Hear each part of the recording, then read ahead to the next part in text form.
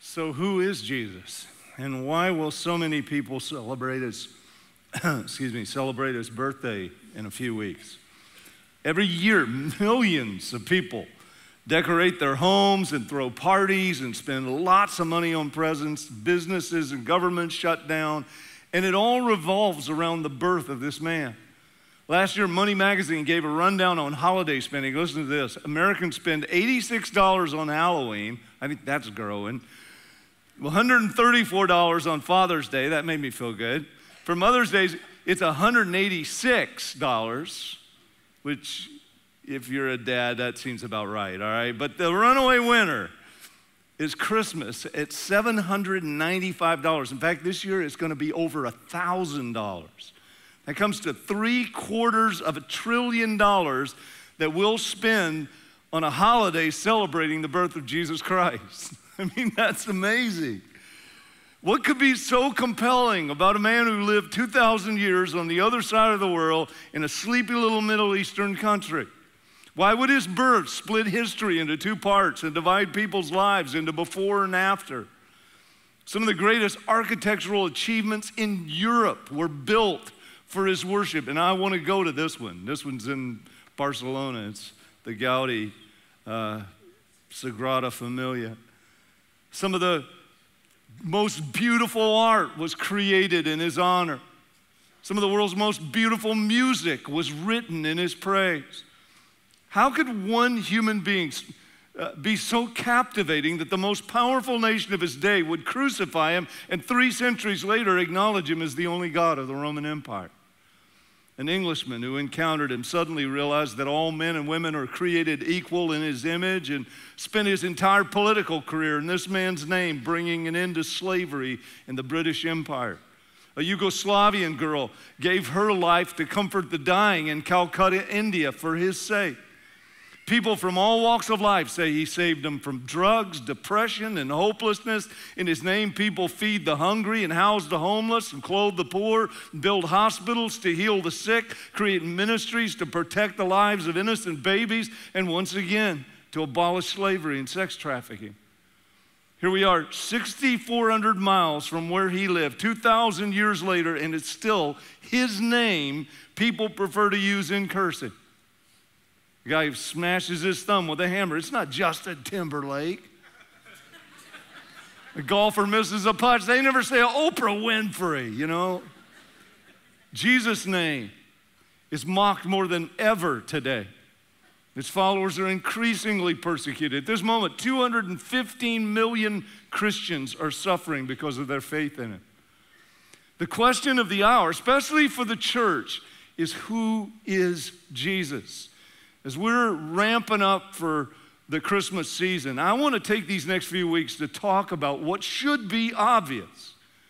Jesus Christ is God, He's our Creator, and He did the unthinkable. He humbled Himself to become one of us.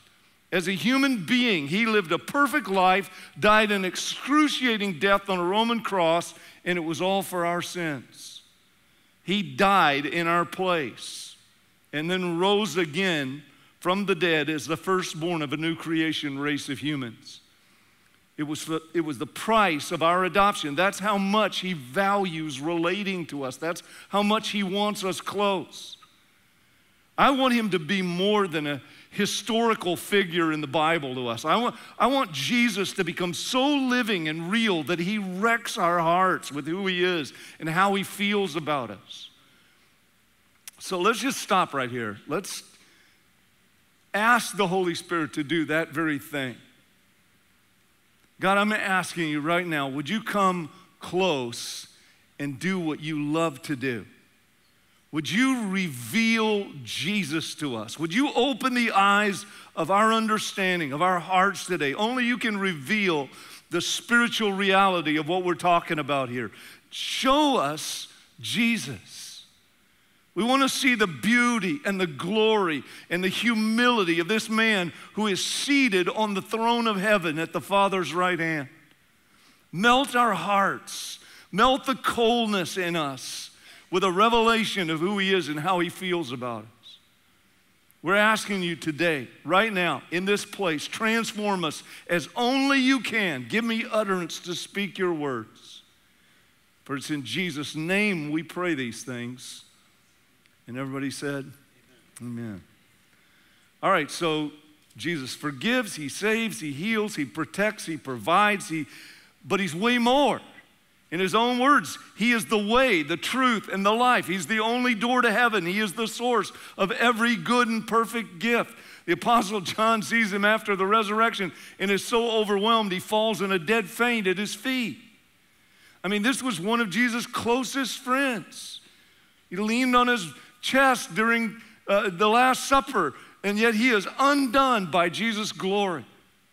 Jesus is beautiful beyond anything we can imagine. His presence is breathtaking.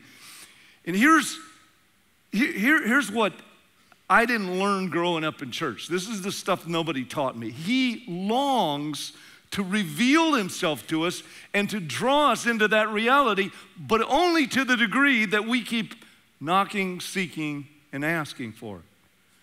So, my goal in this is to spark hunger in us for more revelation of this man with fire in his eyes and a burning heart of love who yearns to relate to us. Because I am convinced that knowing him better is the key to loving him more. There's nothing that transforms the human heart more than seeing Jesus. When God reveals God to us, it kicks us out of boredom and depression and anxiety and guilt and compromise any other dark thing that could mess us up. The Apostle Paul is the premier example of this. He has a dramatic encounter with Jesus on the road to Damascus while his name was still Saul.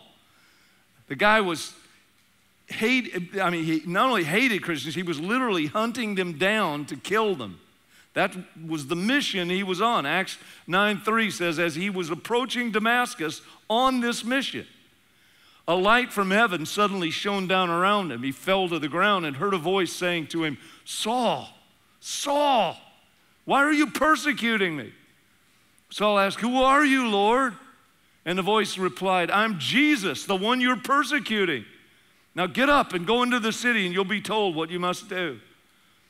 Jesus gives him a new name, a new mission, and the hater immediately is transformed, becomes a lover, taking the news of Jesus to the non Jewish world. That's why we're here today, because of this transformation that happened in this man. Man, this was Paul's explanation of what happened when he's talking to the church in Philippi. He said, I gave up everything to obey him. I sacrificed many things to do what he asked, and here's why because of the excellence of the knowledge of this man. He's saying, You have no idea what he's like. When you encounter the magnificence of this risen human, nothing else matters. Everything becomes worthless by comparison. Now, I want you to hear how he states this in our own vernacular. I'm going to read this from the message paraphrase so that, you know, it's, it's more down to our lingo this is not the infatuated talk of a new believer. The longer Paul knows Jesus, you're going to see this, the more he's ramping up. So, this is Philippians 3, verse 8. He says, All things, all the things that I once thought were so important are gone from my life. Compared to the high privilege of knowing Christ Jesus as my master firsthand, everything I once I thought I had going for me is insignificant dog dung. that sort of puts it in perspective, doesn't it? I've dumped it all in the trash so that I can embrace Christ and be embraced by Him. I didn't want some petty, inferior brand of righteousness that comes from keeping a list of rules when I could get the robust kind that comes from trusting Christ, God's righteousness. I gave up all that inferior stuff so I could know Christ personally, experience his resurrection power, be a partner in their suffering, and go all the way with him to death itself. If there was any way to get in on the resurrection from the dead, I wanted to do it. I'm not saying that I have this all together, that I have it made, but I'm well on my way, reaching out for Christ who has so wondrously reached out for me. Friends, don't get me wrong. By no means do I count myself an expert in all of this, but I've got my eyes on the goal where God is beckoning us onward to Jesus. I'm off and running and I'm not turning back. So let's keep focused on that goal. Those of us who want everything God has for us. If any of you have something else in mind, something less than total commitment, God will clear your blurred vision. You'll see it yet. Now that we're on the right track, let's stay on it. Stick with me, friends. Keep track of those you see running this same course, headed for this same goal. There are many out there taking other paths, choosing other goals, and trying to get you to go along with them. I've warned you of them many times. Sadly, I'm having to do it again. All they want is easy street. They hate Christ's cross. But easy street's a dead end street. Those who live there make their bellies their God. All they can think of is their appetites. This is a bad verse to be reading after Thanksgiving, isn't it? well, we're getting off that track, right? All of us. The, the leftovers are ended, all right? All they think of is their appetites, but there's far more to life for us. We're citizens of high heaven. We're waiting for the arrival of the Savior, the Master, Jesus Christ, who will transform our earthly bodies into glorious bodies like His own. He'll make us beautiful and whole with the same powerful skill by which He's putting everything as it should be under and around Him. This does not sound like a retiree, does it? I mean, this guy is, I mean, he is going for it. He's getting more intense as he grows older. Here's the bottom line I really believe if we can see Jesus the way Paul saw him, we can live for Jesus the way Paul did. His love was white hot, and that's what I want for all of us. Read the book of Acts. You'll see that most of the first century church was captivated by Jesus, and their lives were vibrant and full of serving and giving and worship. They were seeking and asking for more revelation, and they lived literally expecting Jesus to return at any moment. I'm convinced if we will keep praying Paul's prayer, asking for the Spirit of wisdom and revelation and the knowledge of Jesus, that's where our hearts will go as well.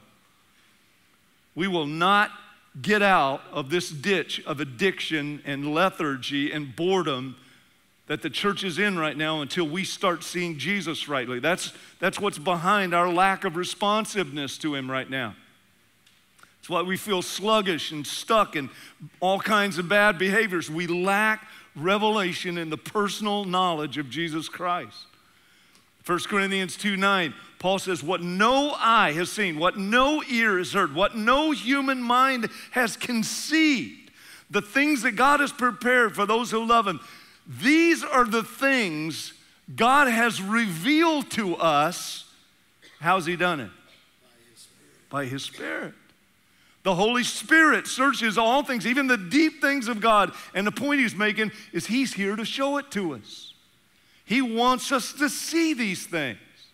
That's available to every one of us right now. It's what energized Paul to live the way he lived. When he saw Jesus, everything was worthless. Everything else, everything but that. Let me assure you, the Holy Spirit has not retired. I mean, he is still just as willing and active to reveal Jesus to us now as he was then. In John 16, 13, Jesus said, He'll guide you into all truth. He's going to take the truth and He's going to guide you into it. He'll take you step by step into all the truth that you'll seek Him for. But He'll only give us what we're hungry to see, what we're hungry to know. I, if I'm satisfied and distracted and entertained, He'll wake me up. My degree of hunger really does determine my degree of revelation. If you're satisfied just being forgiven and that's all you want, that's all you'll get. But there's so much more. Oh, there's so much more. The Holy Spirit knows so much more about Jesus than we can even imagine. In John 16, 14, Jesus said, He will glorify me. And there are a number of ways that He does that. But the best is when He just gobsmacks us with the wonder and fascination of who Jesus is. That's what he meant by he will glorify me, for he will take what is mine and declare it to you. The Holy Spirit will honor Jesus by taking these multiple aspects of his beauty and majesty and character and literally blow our minds with it. But Jesus said, You got to keep asking. You got to keep knocking. You got to keep seeking. When I uh, got desperate a few years back to get free from, you know, big old food addiction, Leon Harris gave me some incredible advice. He said, Ron, you're eating because your body is starving. I looked at him and I said, Leon, I don't know. I'm wearing like times two the big men's clothes. You know, I'm, I'm having to go really shopping nowadays to even have. I don't know whether I'm. He said, No, trust me. He said, You're, you're just hanging that stuff. Your body's just hanging that stuff on you. You're, you're really starving to death for nutrients. He said, You got toxic hunger happening because the food you're eating has so few nutrients in it. So he encouraged me just start doing one thing. He said, Begin the day with a green drink. he can lay this out for you incredibly well. But the result was almost miraculous. By adding that green drink, my body suddenly was getting nutrition, and slowly I was able to get that toxic hunger under control. In fact, the, the amazing thing to me was I actually started wanting nutritious food. We try to do it backwards. We try to go on a starvation diet, and we end up right back where we started. Well, the same principle works spiritually. My brilliant mind thinks the only way to resolve my addiction to entertainment and social media and video games and one more adrenaline rush is to deprive myself, is to, you know, spend hours in sensory deprivation or join a monastery. What I really need is a revelation of Jesus. That's what my soul is craving. And the Holy Spirit is ever present to make that happen if I'll keep asking Him for it.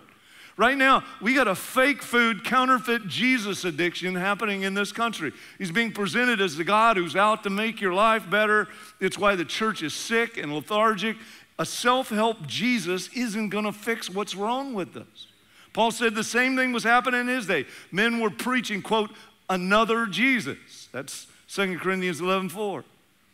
I see more and more leaders backing off from the teaching of Jesus in Scripture. and it's easy to know why if you've read the Sermon on the Mount. Jesus was not wishy washy. I mean, some leaders are even claim, uh, denying his claims to be God, saying, oh, he was a great teacher, but his teachings offers just one of many ways to heaven. I mean, it's shocking stuff. Jesus said, I am the way, the truth, and the life, the only door to God. So you can't say he was a good teacher. He was either crazy or he was telling the truth that he is the door to God, that he is the way, the truth, and the life. Counterfeit Jesus has no power to transform a human heart. And that's why we're not seeing the power of God in this generation like we, we have in past generations. This is all the lead up to a great falling away that Paul and Jesus predicted. Uh, places like Second Thessalonians 2 3. Even genuine believers are going to be deceived by this. There's, there's coming a global worship movement that will include miracles and Jesus' name among others, but the whole thing will be counterfeit. It's all spelled out in the book of Revelation. I mean, we want to be on this. We want to be aware of where this is going. Now is the time to lock into the Jesus of Scripture, this magnificent man who is coming back with fire in his eyes and a burning heart of love to bring about justice and rule the earth with a rod of iron. Now's the time to answer the question that he posed to his own disciples in Matthew 16 13. He said, Who do people say the Son of Man is? Jesus sits them down one night and he asks, Who, who are people saying that I am? Imagine you're sitting around the campfire listening. One of them says they, they, they think you're John the Baptist. John is, you know, at this point had just been killed by Herod. Jesus said, Why do they think that? Well, you're a fiery holiness preacher who's fearless with the truth. I mean, you don't care who it offends. That was certainly John's MO.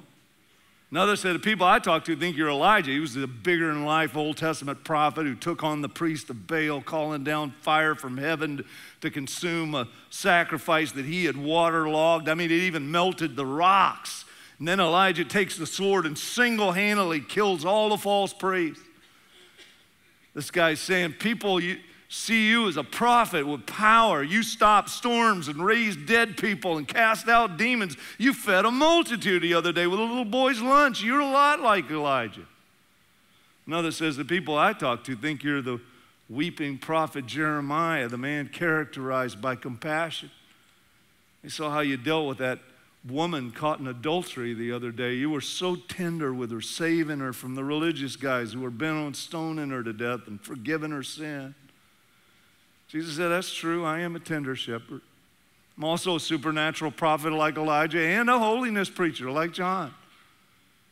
Then he looks at them in Matthew 16, 15 is the verse you want to underline, highlight, circle, and star because the whole church is built on this one. Who do you say I am? This is a number one question of the hour in any generation. Who do you think he is?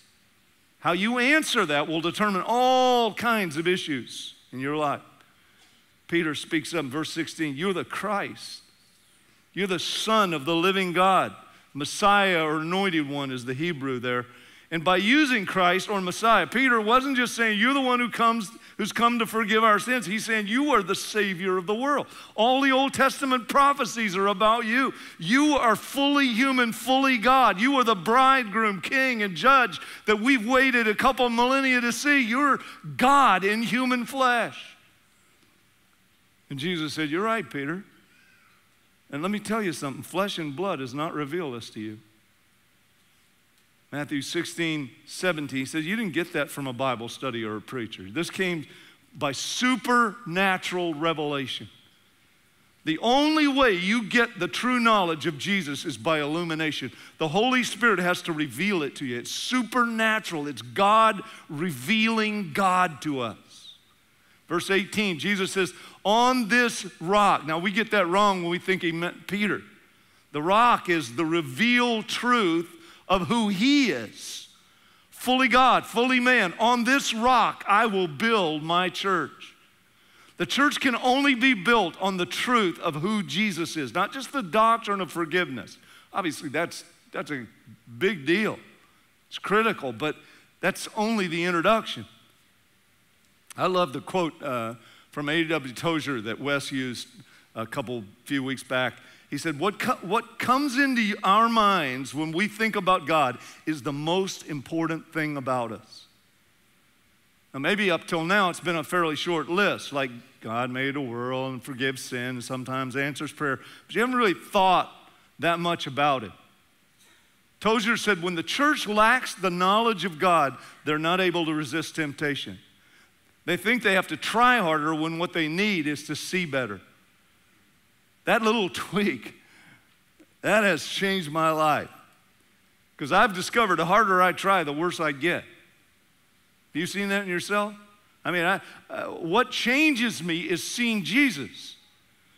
When I see the beauty and the glory and the compassion and the tenderness of this man, everything pales by comparison. The reason I want to see Jesus better is because I'm terrible at resisting sin and darkness when I'm not a bad day, you know, last week. I'm studying all week and I'm making no progress and I'm frustrated and anxious, kind of depressed. And later I'm talking to the Holy Spirit about it. Like, what's up? You know, I've, I've spent the whole day and I'm just, seems like I'm taking, you know, three steps forward and two steps back. And just as clear as if I'd heard it audibly. I just sensed these words come to me. Next time, try doing this with me rather than for me. I mean, it was like a gut punch. It was like, oh. I mean, that makes all the difference in the world. I realized that I had jumped into study that morning. I had a whole lot on the, my plate. I jumped into study without connecting. And I mean, I could just look back and go, yeah, you're right. I got more anxious all during the day. And, and, instead of stopping, I'm thinking, no, no, no, no, Lord, I got, I got to get this done. I was going, this is just, you know, you're going nowhere, Ryan. You're on a treadmill. Just, just stop, stop, stop. Talk to me. When I'm seeing what Paul saw, I find I can live like Paul lived. It's not an issue of doing or willpower, it's an issue of seeing because there's this dynamic connection between what I'm seeing and how I'm responding. Most important question you'll ever answer is Who is Jesus? What do you think he's like? What do you see? And again, I, I think most people would say, I, I don't really think about him that much. You can change that right here, right now. You can reset your heart to make knowing Jesus your greatest ambition and number one life, lifelong pursuit. Because that's a choice only you can make. And the moment you do that, the Holy Spirit will jump in and say, Now we're talking. I'm with you. I'm on it. I'm going to help you. Ephesians chapter 4, verse 11, Paul describes how the church functions. Listen to this. He says, Christ himself gave the apostles, prophets, evangelists, pastors, and teachers to equip his people for works of service so that the body of Christ may be built up. It's an ongoing process until we all reach unity in the faith and in what? There it is.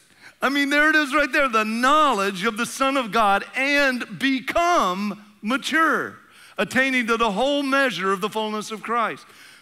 It's the personal knowledge of the Son of God that causes us to mature. And it's a lifelong journey of discovery. We're wanting to see the endless facets of His magnificent beauty till we are literally filled with the knowledge of who He is. This is the greatest need in the church today. And the Bible clearly spells out how we're to go after it. I remember when somebody pointed this out to me when I was a young guy. They said, if you want to find the knowledge of God, and I even thought that sounded weird. They said, you, you have to find the knowledge of God. But here's the way to do it, all right? It's in Proverbs chapter 2, and it's the first five verses. Now I'm going to have us read this together. Ready? It's a, we'll have it on the screens right there. You got it? If you receive my words and treasure my commands within you, so that you incline your ear to wisdom and apply your heart to understanding. Yes, if you cry out for discernment and lift up your voice for understanding, if you seek her as silver and search for her as for hidden treasures, then you will understand the fear of the Lord and find the knowledge of God. I mean, that's, that's all out pursuit that we just read about. So we start with his words. It's not like some treasure hunt in the jungles of Borneo. This is like an Easter egg hunt for three year olds. I mean, God's hidden this stuff in plain sight.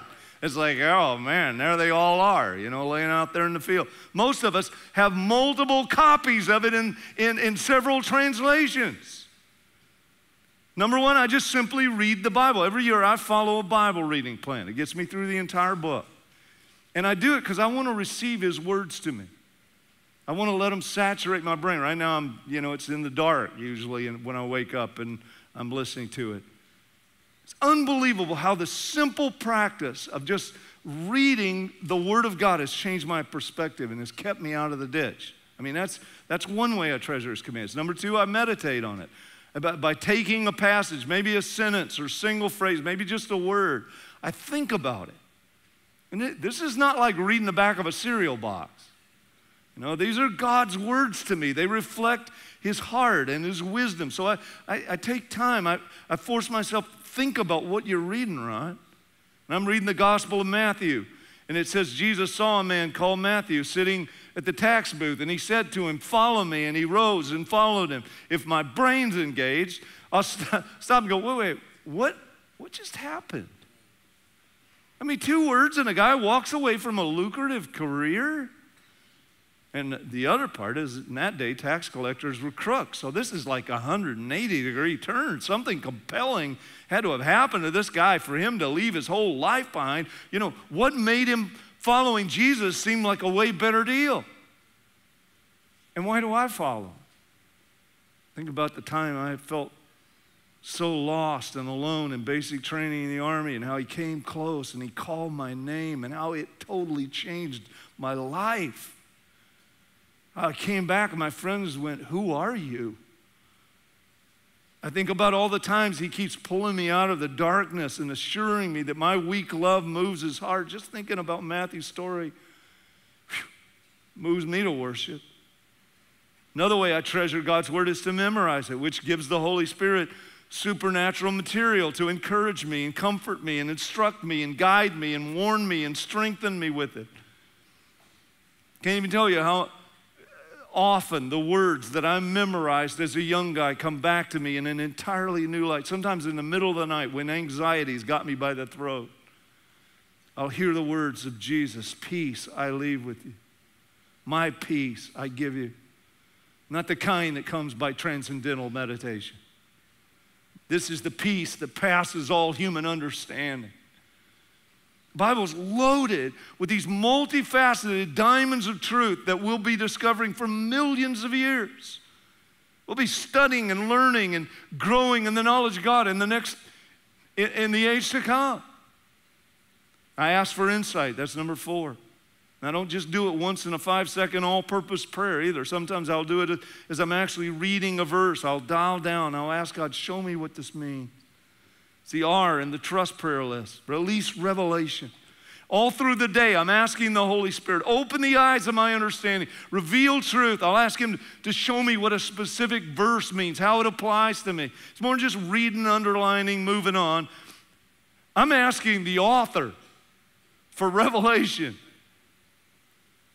You guys remember that crazy TV episode Lost, the Lost series? I ended up more lost when that thing ended than when it began. I mean, I got more lost every episode. I didn't know what had happened. And I was talking to other people, and their idea of what had happened was even crazier than mine. And I watched the whole stupid thing. But then one day, mysteriously, the two geniuses that put this whole thing together were on TV talking and explaining the storyline. I thought, where were you guys when this whole thing was going on and everybody was, you know, off on a different track? You know, you could have cleared up all kinds of confusion. Well, think about that in light of the Bible. I mean, Jesus said these words, you're not going to know what they mean. They're spirit and their life. We seriously need the author's input if we're ever going to understand them.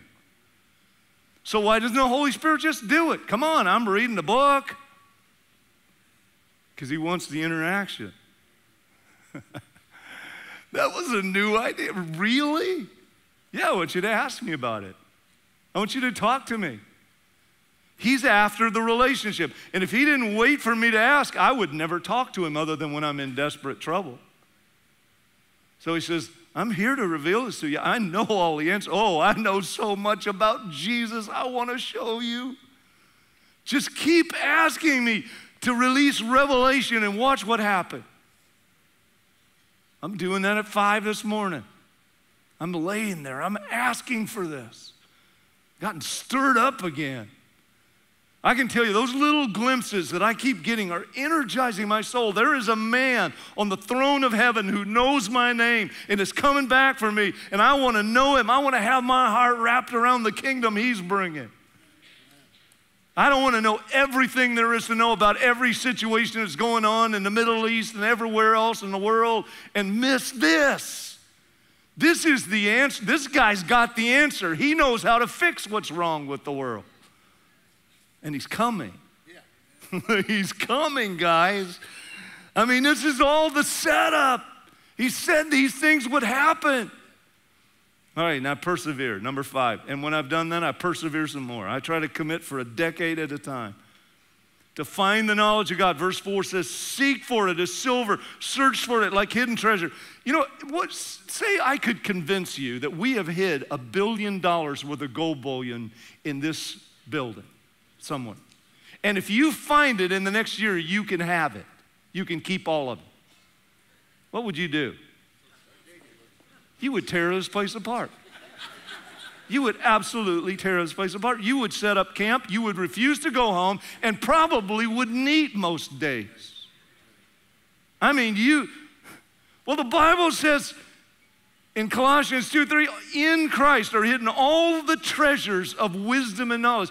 Isn't he worth that kind of pursuit? Isn't he worth the investment of your time, your talent, your treasure? Paul says, I'm telling you, all the other stuff I pursued was worthless refuse.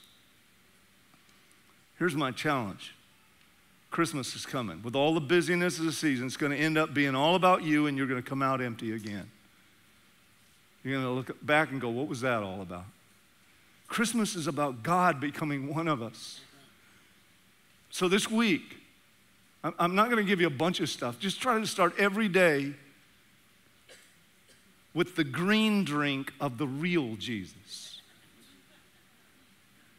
Get the analogy? Start it with the green drink of the real Jesus. Start the day focused on Him. I mean, just get some real nutrition in you.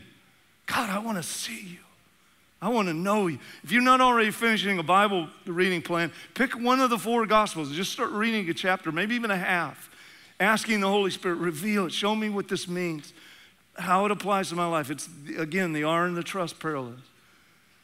And then when something catches your attention, stop and think about it. Ask the Holy Spirit to shine more light on it. Remember, Paul says, I sacrifice many things to do what he asked me because of the excellence of the knowledge of this man. You want to know him because of the magnificence of who he is. If you want to live like Paul lived, you've got to see what Paul saw about Jesus. Forgiveness is free, but gaining access to the deep things of God's heart will cost you something. So if Jesus is valuable to you, I, man, I wish somebody had poked me in the chest and told me this when I was a young guy. If he's valuable to you, go after him. Pursue him with everything you've got. There will never be a moment in eternity that you look back and will be sorry that you missed an episode of Grey's Anatomy. Or you will be so sorry that you missed the new Lion King movie premiere to be here for church or a prayer meeting. Nothing in your life compares to the value of knowing Jesus Christ. And the Holy Spirit is waiting for you to ask Him. When we stand before the throne of God, I don't want a single one of you to look over me and say, Why didn't you tell us? Because I'm telling you right now, there is nothing in your life that compares with the value of knowing this man. He is so worthy of your devotion, he is so worthy of the pursuit. Be here every weekend this next month. Just determine right now, you can do it. You can just say, that's it. I'm, I'm showing up every weekend here at church. We're going to talk, Ron's going to talk about Jesus. I'm, going I'm in. Be your own, uh, find a prayer meeting you can attend. We, every Thursday, we meet down the foundry from 12 to 2. That's our fast day. That's our day to go without food and say, God, you are worth this. Alternate Sundays, we meet, well, this, this month we're going to meet down at the foundry because they're changing up everything here for the Christmas event. I'm sure, you know, there are some of you sitting here who have no idea what I'm even talking about. The idea of personally encountering a resurrected human being who is sitting on the throne of heaven, that is a totally new idea. But that is the essence of the gospel. Somebody shortchanged you. They didn't tell you what this was about. That is the gospel. Jesus Christ is not a religious leader, He is the God man who came to earth as one of us. He lived a sinless life. He died in our place so He could be right in making us right. So He could stay righteous in giving us the gift of righteousness. You can receive right now, right here, the love that He's offering you and let Him give you the gift of eternal life. That's all you have to do. Put your trust in Jesus Christ to forgive your sin and save you from hell. You can do that right now. I've had several recur I've had a recurring dream that is so lucid. And it's me just saying what I just said and seeing the light come on in people's heart. I'm telling you, the gospel that I just proclaimed to you is the power of God to save your soul. It will change you permanently. We all, most of us sitting here can remember the day it happened to us. It can happen to you right now, in this moment. Right now, in this moment. I'm gonna have you stand with me, and we're just gonna bow our heads together. And I'm gonna lead you in a simple prayer to do this very thing. because I'm telling you what happened, the light came on for a bunch of you today. I mean, something happened inside you and you go, I'm getting this. I, I, I am not used to getting things in church, but I'm getting this. I'm understanding. You know what? What's happening? The Holy Spirit is revealing Jesus to you.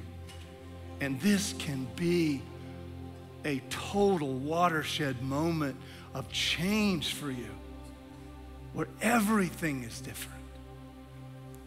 So I'm just going to pray this prayer out loud. I want you just to echo it, all right? I'll, I'll pray it slow enough so you can just say these words back to God. Just say, God, I believe what the Bible says about Jesus. That he is your son, that he became a human, and he died in my place to remove all of my sin and to give me the gift of eternal life. I acknowledge my sin before you now. I acknowledge the brokenness in my soul. I repent and I turn to you and I receive your love and I receive your forgiveness and I invite you to come and live in me. Right now, I am choosing to follow you. I'm confessing you as my Lord and my Savior. Thank you for saving me. Now I'm going to pray for you. God, make that real. Make that real. Let that miracle right now of supernatural spirit regeneration happen in the hearts of people right here right now. I know it is. I know it is. You're close. You're here in this room. No, no one looking around right now. Just keep your eyes closed for a minute. How many of you, you prayed that prayer, maybe understanding it for the first time? I mean, it, it clicked.